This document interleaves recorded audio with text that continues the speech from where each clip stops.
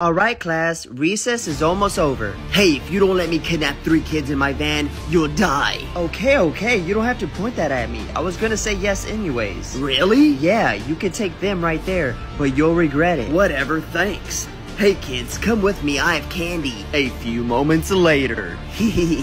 Too easy. Where's my candy? Yeah, where's the candy? I lied. what the? How'd you take my... My name is Justin, and I'm cracked at Fortnite, my guy. Uh, ah! Where's my candy? Oh, great heavens! Three, two, one. You can have them back. They're crazy. I told you you'll regret it.